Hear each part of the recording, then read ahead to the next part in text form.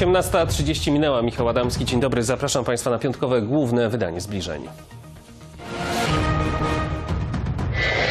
Most powietrzny z Chinami. To, co widzimy za plecami, to jest, to jest po sufit wyładowane materiałami medycznymi.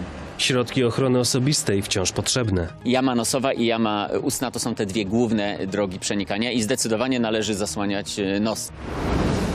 Andrzej Rakowicz nie jest już wiceprezydentem Torunia. Bardzo serdecznie dziękuję panu prezydentowi Andrzejowi Rakowiczowi za jego ponad e, pięcioletnie zaangażowanie. Nie zajmujemy się walkami frakcyjnymi e, w klubie e, Koalicji Obywatelskiej. Przed nami Noc Muzeów. postanowiliśmy wprosić się troszeczkę do Państwa domów i mamy kilka pomysłów na to, jak spędzić z nami czas. Zaczynamy od statystyk związanych z pandemią koronawirusa. Ministerstwo Zdrowia poinformowało o kolejnych zakażeniach wirusem SARS-CoV-2.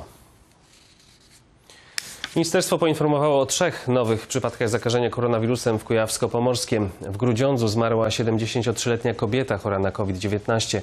Druga 90-letnia kobieta zmarła w Bydgoszczy. Łącznie w regionie zachorowało 581 osób. 42 zmarły, a 315 osób wyzdrowiało. W kraju przybyło dzisiaj 401 nowych zachorowań na COVID-19, z czego 293 odnotowano w województwie śląskim. W ciągu ostatniej doby zmarły 24 osoby zarażone koronawirusem. Łącznie w kraju na COVID-19 zachorowało 18 016 osób, 907 zmarło, a 6 918 osób wyzdrowiało. Bydgoski Port Lotniczy rozpoczął obsługę połączeń z Chinami w ramach otwartego stałego mostu powietrznego między obydwoma krajami. W środę wieczorem wylądował pierwszy samolot z ładunkiem materiałów medycznych na pokładzie dla jednej z prywatnych firm farmaceutycznych. To głównie maseczki i rękawiczki. Połączeń ma być więcej.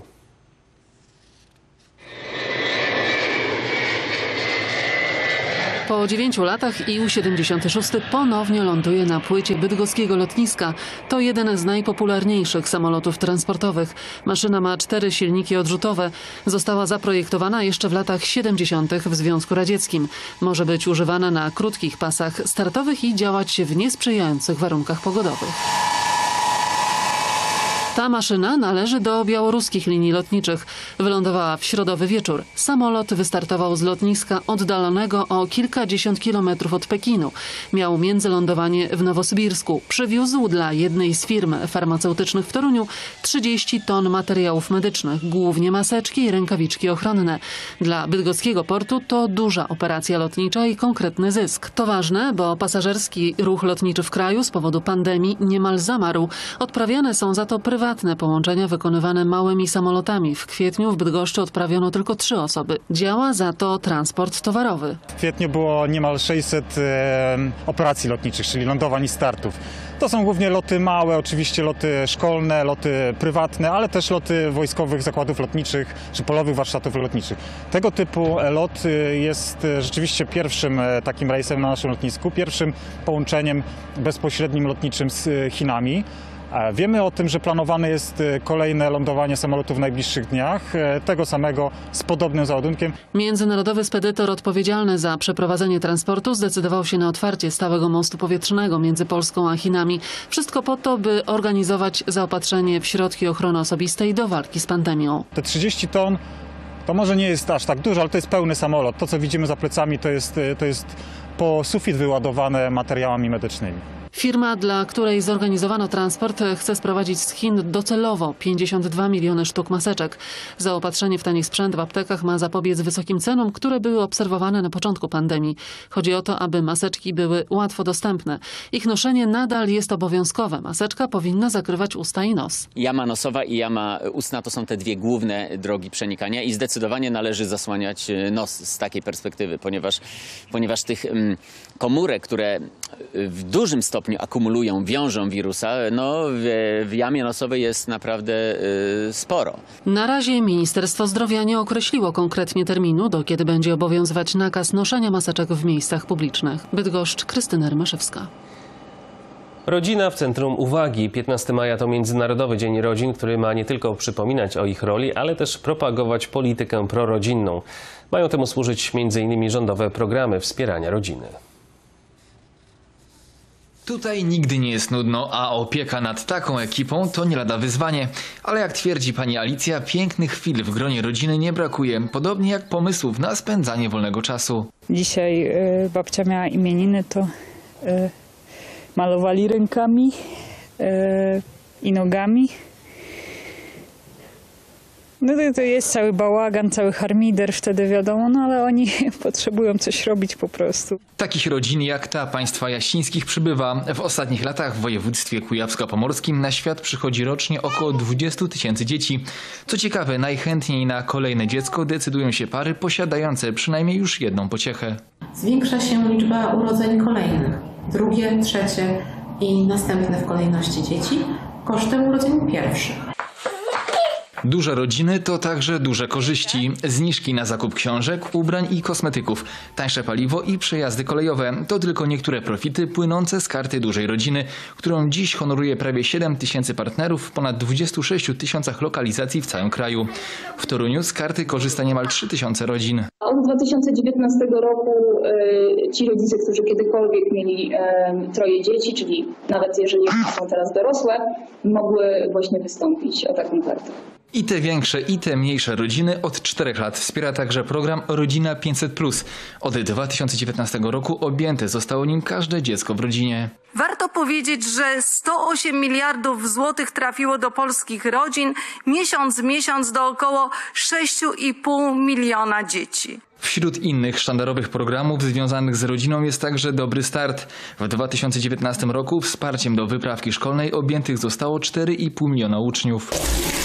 Dzięki wsparciu rządowemu powstają także kolejne miejsca opieki nad dziećmi dla trzech, a to w ramach programu Maluch Plus. Pozwolił też na stworzenie wielu miejsc mm, i żłobków dla tych dzieci najmłodszych, tak aby pozwalać e, młodym matkom e, na powrót na rynek pracy. Ze wstępnych danych Ministerstwa Rodziny, Pracy i Polityki Społecznej wynika, że w ubiegłym roku dzięki programowi Maluch Plus w całym kraju powstało blisko 15 tysięcy nowych miejsc opieki nad najmłodszymi dziećmi. Michał Górski, TVP3 Bydgoszcz. Oglądają Państwo główne wydanie zbliżeń, a jakie tematy jeszcze przed nami?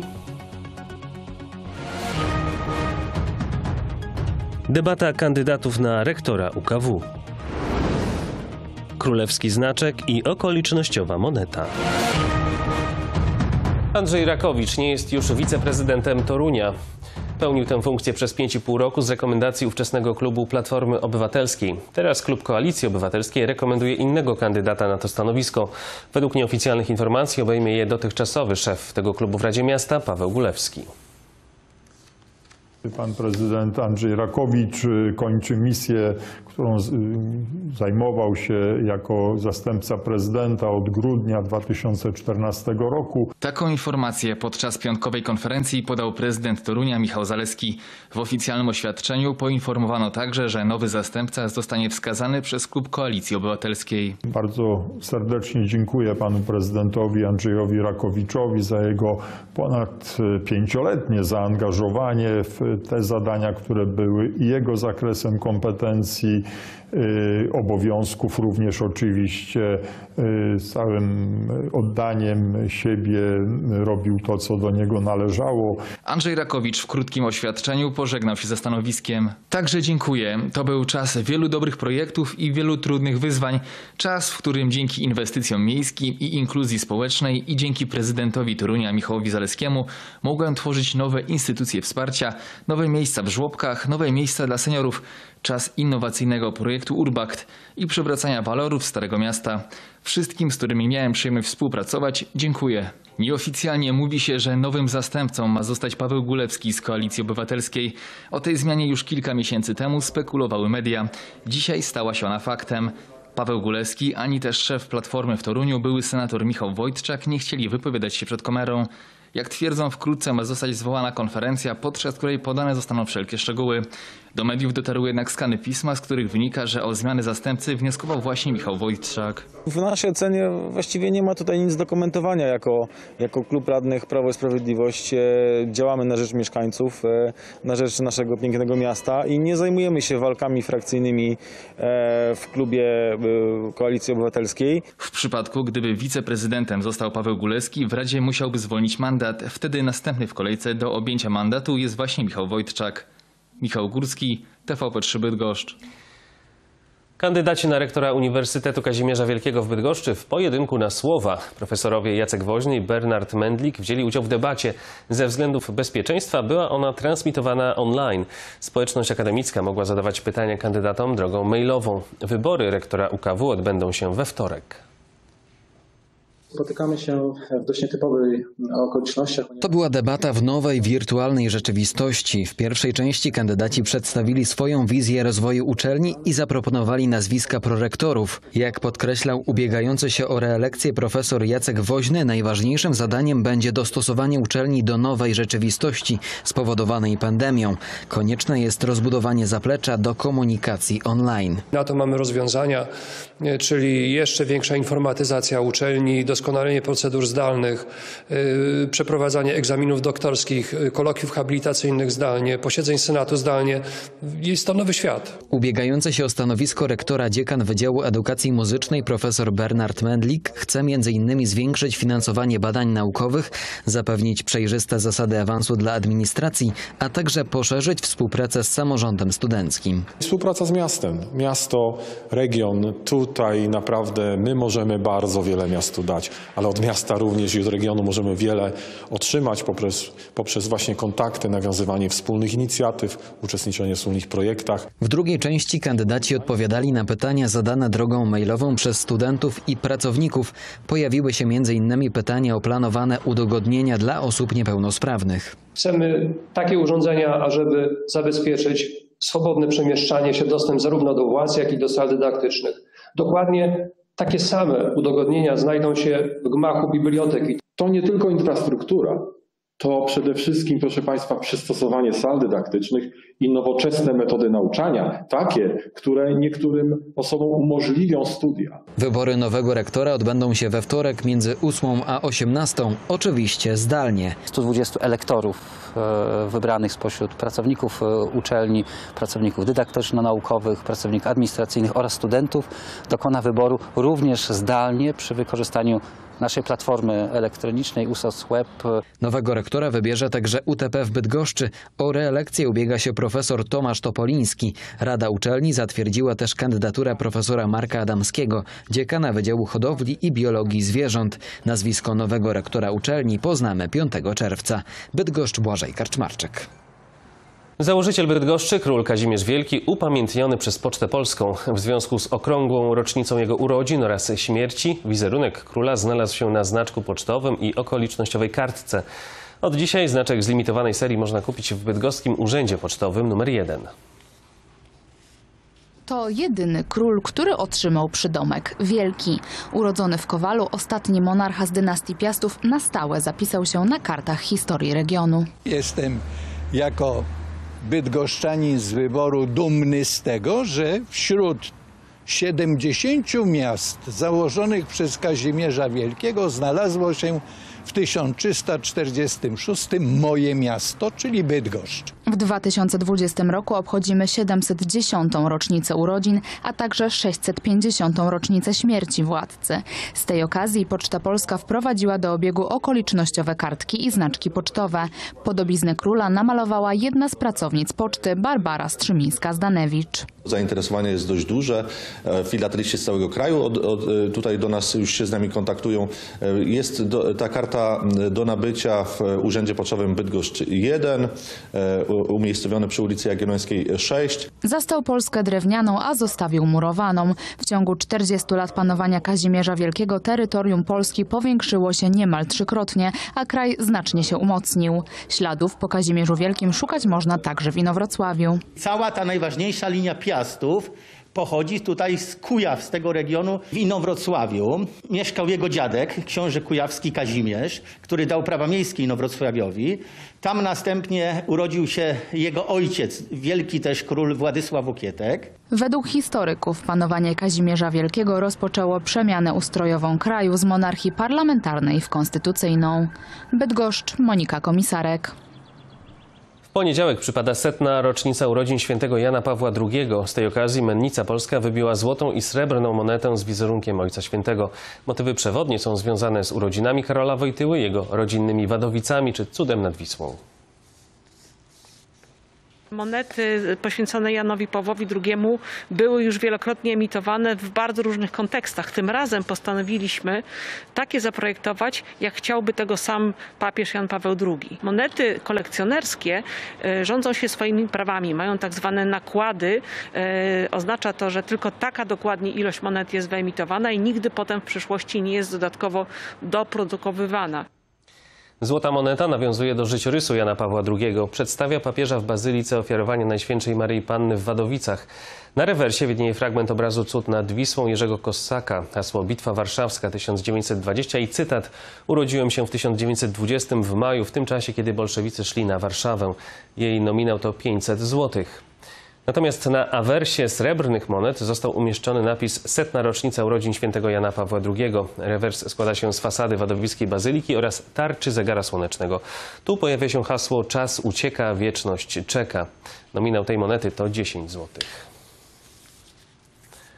Zamiast w kolejce do muzeum, wygodnie w domu. Instytucje kultury wproszą się do nas w ten weekend. Międzynarodowa Noc Muzeów ze względu na pandemię została przełożona. W zamian placówki przygotowały wirtualne spacery, wykłady i warsztaty. Wszystkie do znalezienia w sobotę w sieci. Zamiast Nocy Muzeów, wirtualna sobota. Placówki kultury zapraszają na swoje strony internetowe i profile w mediach społecznościowych. Przygotowano wystawy, prelekcje i konkursy. Postanowiliśmy wprosić się troszeczkę e, do Państwa domów e, i mamy kilka pomysłów na to, jak spędzić z nami czas. Muzeum Ziemi Kujawskiej i Dobrzyńskiej we Włocławku zaprasza na wirtualny spacer po skansenie. Dowiemy się też, co dzieje się w muzeum po wyjściu odwiedzających. Ciemność, która spowijała dawną wieś, była ciemna jak smoła. O sposobie rozpraszania ciemności opowie Muzeum Etnograficzne w Toruniu. Nie zabraknie historii światła, ale i instrukcji na mini teatr cieni. Jest to świat fantastyczny. Pracownicy Muzeum Okręgowego w Toruniu przybliżą nam obrazy Zdzisława Beksińskiego, ale także zabiorą w podróż do Tajlandii i Gwatemali. Filmy i artykuły będą pojawiały się na Facebooku muzealnym, gdzie można po prostu zachęcam do korzystania i no, mam nadzieję też do, taką, do przyjemności e, obcowania z muzeum wirtualnym. Muzeum Okręgowe w Bydgoszczy odsłoni miejsca na co dzień niedostępne dla zwiedzających, przypomni wystawy sprzed lat, czy wirtualnie oprowadzi po swoich placówkach. Nie zabraknie również niespodzianek. Będą one odkrywane z godziny na godzinę w sobotni wieczór.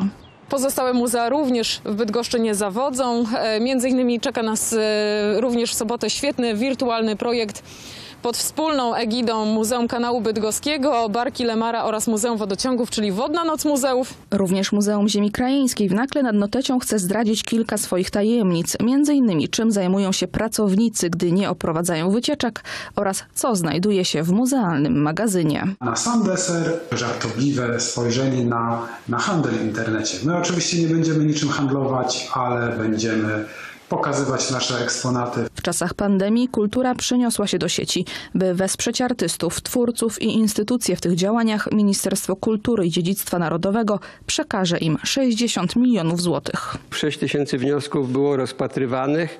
To jest też liczba bez precedensu, z czego 1200 programów y, uzyskało finansowanie. Noc muzeów w wersji online dostępna będzie w weekend. Tym razem uczestnicy nie muszą wybierać, które instytucje odwiedzą. Każda placówka w regionie czy kraju jest na wyciągnięcie ręki. Bydgoszcz, Katarzyna Ormanowska. U nas teraz informacje sportowe i Artur Onacki. Dzień dobry. Dzień dobry, znamy datę inauguracji nowego sezonu Ekstraklasy Koszykarzy. Gra ma rozpocząć się 27 sierpnia, a to oznacza, że kluby także z naszego regionu mogą teraz rozpocząć intensywne przygotowania do rozgrywek. Rozmawiamy z zawodnikami, z tymi, z którymi już mamy kontrakty, z potencjalnymi kandydatami do naszego zespołu i jestem przekonany, że wspólnymi siłami e, z trenerami, zawodnikami, sponsorami, z naszymi e, fenomenalnymi kibicami e, przygotujemy się na nadchodzący start nowego sezonu.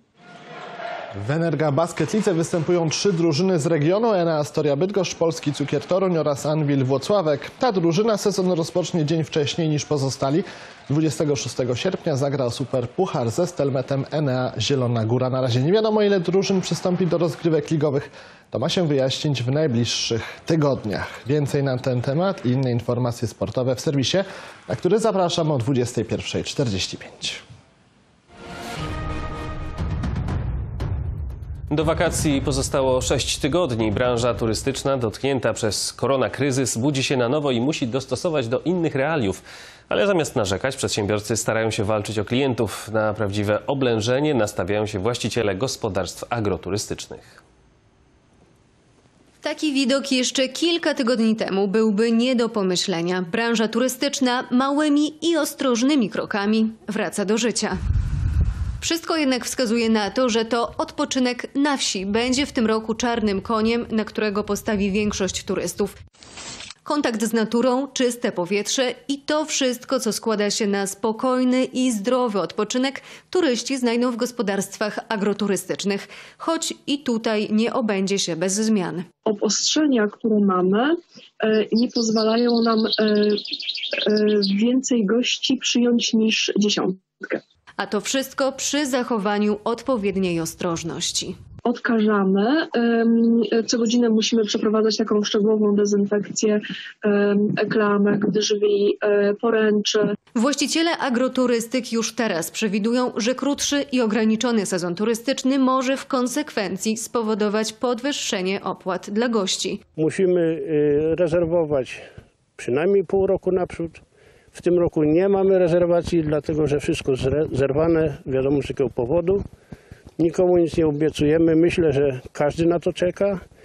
Świadczą o tym telefony, Z badania przeprowadzonego wśród turystów na zlecenie Polskiej Organizacji Turystycznej wynika, że ponad 30% Polaków chce wyjechać na krótki wyjazd jeszcze w maju lub w czerwcu. Dokładnie od tygodnia e, sukcesywnie oddział po oddziale otwieramy nasze podwoje. W tym tygodniu Już od kilku dni na gości czekają ponownie otwarte muzea w regionie. Jeżeli ktoś do nas przychodzi, może być pewien, że wszelkie normy bezpieczeństwa, które są związane z naszymi gośćmi, z naszymi pracownikami, a także ze zbiorami, co jest niezmiernie ważne, zostały dotrzymane. Do odwiedzin zachęcają także najpopularniejsze ośrodki turystyczne, takie jak choćby Muzeum Archeologiczne w Biskupinie, które dotychczas w letnim sezonie turystycznym odwiedzało w ciągu roku do kilkudziesięciu tysięcy osób. Mamy trzy wnętrza otwarte tych chat.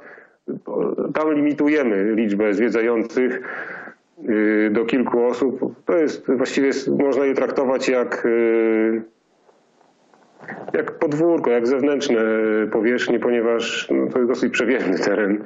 Do wakacji pozostało 6 tygodni. W zeszłym roku ponad 7 milionów Polaków wybrało urlop za granicą. W tym roku mówi się o tym, że wyjazdy zagraniczne będą możliwe dopiero w połowie wakacji po wznowieniu ruchu lotniczego, no i pod warunkiem zniesienia kwarantanny. Dlatego, jak szacują specjaliści, to lato będzie należało do turystyki lokalnej i krajowej. Natalia Kurowska, TVP3 Bydgoszcz. No, żeby tylko pogoda dopisała w najbliższy weekend, słońca chyba nie zabraknie. Angelika Bednarska. Witam serdecznie. Po zimnych ogrodnikach przyszedł czas na zimną Zośkę. To właśnie ona kończy etap przymrozków i chłodu. Według prognoz synoptyków w drugiej połowie maja odczujemy napływ cieplejszych mas powietrza. Temperatury wzrosną i na niebie pojawi się więcej słońca, które z pewnością zachęci do wypoczynku na łonie natury. Koniczyna kojarzy nam się z sielskim widokiem kwietnych łąk. Kuliste, różowo-purpurowe kwiaty o delikatnym zapachu przyciągają trzmiele i pszczoły. Z koniczyny wyplatamy wianuszki, a znaleziona czterolistna koniczyna ma przynieść nam szczęście. Tak więc w nadchodzący weekend zachęcam Państwa do spacerów właśnie w jego poszukiwaniu. Szczegółowa prognoza pogody tuż za chwilę. Zapraszam.